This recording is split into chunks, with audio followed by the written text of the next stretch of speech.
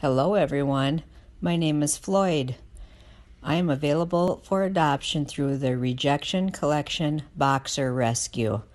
Right now, I'm so comfortable, I'm warm and happy laying on the couch at my foster home. I have some awesome brothers and sisters. I don't pay much mind to them. I'm a calm, older gentleman. I just like to rest and lay by my person I do have a little bit of separation anxiety, so I would do best in a home that would have someone home with me all day. I will be your best friend. I like to have at least one eye on my person at all times. Can I come and lay on your couch? I think I would be a great friend. There are several other boxers that are up for rescue. If I'm not perfect for you, I bet you could find another one.